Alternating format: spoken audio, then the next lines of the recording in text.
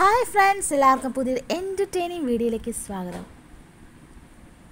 അപ്പോൾ ഇന്ന് നമുക്കൊരു മനോഹരമായ കഥ കേൾക്കാം.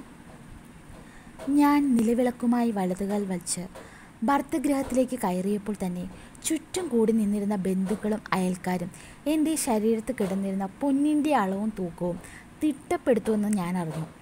അവർക്കത് വെറും ഒരു പൊന്നാണ്.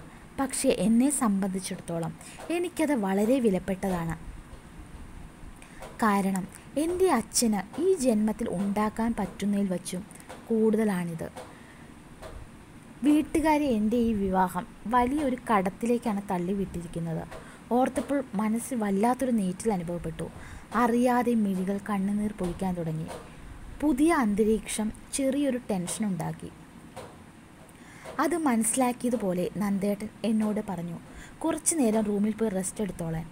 അത് കേൾക്കാത്ത താമസം റൂം ലക്ഷ്യമാക്കി ഞാൻ നടന്നു കഴിഞ്ഞിരുന്നു. അവിടെ ഇരുന്ന് മതിയാവോളം പൊട്ടിക്കരഞ്ഞു വീട്ടുകാരെ ഓർത്ത്. വൈകുന്നേരം റിസപ്ഷൻ പാർട്ടി ഉണ്ടായിരുന്നു. എന്നെ ആദ്യം കണ്ടപ്പോഴുള്ള അടക്കം പറച്ചിലുകൾ ചിലർ ഇതുവരെ നിർത്തിയിട്ടില്ലായിരുന്നു. ഇത്രയും സ്വർണമേ ഉള്ളോ? കിടന്ന കിടക്കുന്നതൊക്കെ ഗോൾഡ് തന്നെ ആണോ ഇതിലും നല്ലൊരു ബന്ധം ആ നന്ദിനെ കിട്ടിയേനെ. ഇങ്ങനെ എന്തൊക്കെയോ കുറ്റം പറച്ചിലുകൾ. ദേഷ്യം വന്നുവെങ്കിലും കൺട്രോൾ ചെയ്ത് ഫോട്ടോയ്ക്കും വീഡിയോയ്ക്കും വേണ്ടി മുഖത്തൊരു ചിരി വരുത്തി. പാർട്ടി കഴിഞ്ഞപ്പോഴേക്കും അമ്മായി അമ്മയ്ക്ക് എന്നോടുള്ള ദേഷ്യം കൂടുതലായി എന്ന് തോന്നി. അതിന് മാത്രം എഴുതിയിൽ എണ്ണ ഒഴിച്ചിട്ടാണല്ലോ ബന്ധുക്കളും നാട്ടുകാരും. അമ്മ മറ്റുള്ളവരായി മറുപടി എന്നവണ്ണം പറയുന്ന കേട്ടു. നന്ദന്റെ ഒരൊറ്റ നിർബന്ധം കൊണ്ടാണ് ഈ കല്യാണത്തിന് ഞങ്ങൾ സമ്മതിച്ചത്. ആദ്യമായി പോയ കണ്ട പെണ്ണിനെ അവൻ കെട്ടു എന്ന് പറഞ്ഞ് ഒറ്റ നിൽപ്പായിരുന്നല്ലോ എന്ത് ചെയ്യാനാ? ശരിയാണ്. നന്ദേട്ടൻ എന്നോട് വിവാഹത്തിന് മുമ്പ് പറഞ്ഞിരുന്നു. ഞാൻ ആദ്യമായി പെണ്ണ് കണ്ടത് നിന്നെയാണ്. എനിക്ക് നിന്നെ അത്രയ്ക്ക് ഇഷ്ടപ്പെട്ടു. അപ്പോൾ തന്നെ ഞാൻ തീരുമാനിച്ചു. കെട്ടുവാണെങ്കിൽ നിന്നെ കിട്ടുള്ളൂ എന്ന്. സാമ്പത്തികമായി നന്ദേട്ടനേക്കാൾ വളരെ താഴ്ന്നതായിരുന്നു ഞങ്ങൾ. ചേച്ചിയുടെ വിവാഹത്തിന്റെ കടം ഇതുവരെ തീർന്നിട്ടില്ല. നന്ദേട്ടനെ ഇഷ്ടപ്പെട്ടു എങ്കിലും ഞാൻ അച്ഛനോട് പറഞ്ഞു എനിക്ക് ഈ കല്യാണം വേണ്ടച്ചാ അവർ പറയുന്ന അത്രയും സ്ത്രീധനം കൊടുക്കാൻ നമ്മളെ കൊണ്ട് കഴിയില്ലല്ലോ. ലച്ചു നീ ഒന്നും ഓർത്ത് വിഷമിക്കേണ്ട. ഞാൻ എങ്ങനെയെങ്കിലും നടത്തിക്കൊള്ളാം നിന്റെ കല്യാണം അച്ഛൻ പറഞ്ഞു. അവസാനം സ്ത്രീധനത്തിന് കുറച്ച് ഇളവ് അവർ അനുവദിച്ചു. എങ്ങനെയൊക്കെ അച്ഛൻ കല്യാണത്തിനുള്ള എല്ലാ ഏർപ്പാടുകളും ചെയ്തു. ഒരു മകളെ വിവാഹം കഴിപ്പിച്ചു വിടുന്നതിന്റെ വേദന അവർക്ക് മാത്രമല്ലേ അറിയൂ. വീടിനെക്കുറിച്ചുള്ള ഏകദേശ ധാരണ നന്ദേട്ടൻ എനിക്ക് ആദ്യ രാത്രി തന്നെ പറഞ്ഞു മനസ്സിലാക്കി തന്നു. അച്ഛൻ വളരെ സ്നേഹമായിയാണ് അമ്മ പാവമാണ്. പക്ഷെ എന്തുണ്ടെങ്കിലും വെട്ടിത്തുറന്ന് പറയും. അത് മറ്റുള്ളവർക്ക് വേദനിക്കുന്നതാണ് എന്നൊന്നും അമ്മ ഓർക്കാറില്ല. പിന്നെ ചേച്ചി നിത്യ അതൊരു പൊട്ടിപ്പെണ്ണ. പറയുന്നൊന്നും കാര്യമാക്കണ്ട. അളിയൻ ഗൾഫിലായതുകൊണ്ട് കുഞ്ഞുമായിട്ട് ഇവിടെ നിൽക്കുക പിന്നെ വേറൊരു കാര്യം. എന്താണെന്ന് വെച്ചാൽ അമ്മയ്ക്ക് ചേച്ചിയേക്കാളും എന്നോട് കൂടുതൽ താല്പര്യം. അപ്പോൾ എന്നോട് കുറച്ച് പൊസിറ്റീവ്നെസ് ഒക്കെ കൂടുതലാണ്.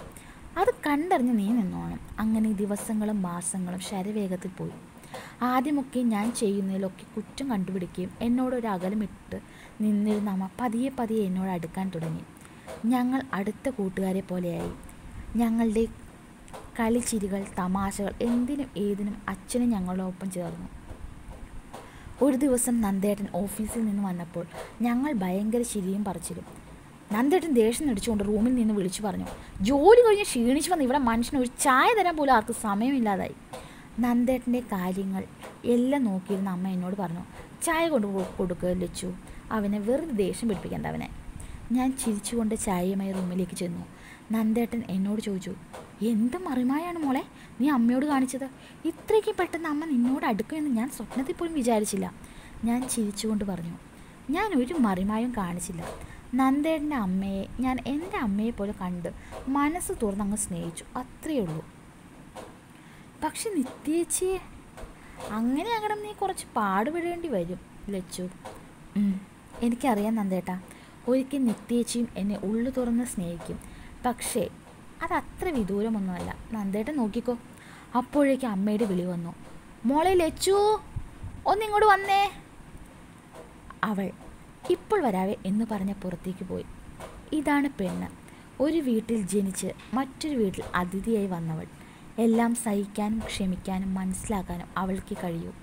എത്ര അകന്നിരുന്നവരെ പോലും സ്നേഹം കൊണ്ട് കീഴടക്കുന്നവർ അവരെ പൂജിച്ചില്ലെങ്കിലും ദൈവതുല്യമായിട്ട് കാണുക. ഈ കഥ ഇവിടെ പൂർണമാവുന്നു. അടുത്തൊരു മനോഹരമായ കഥയ്ക്ക് കാത്തിരിക്കുക. അതുവരേക്കും ബായ്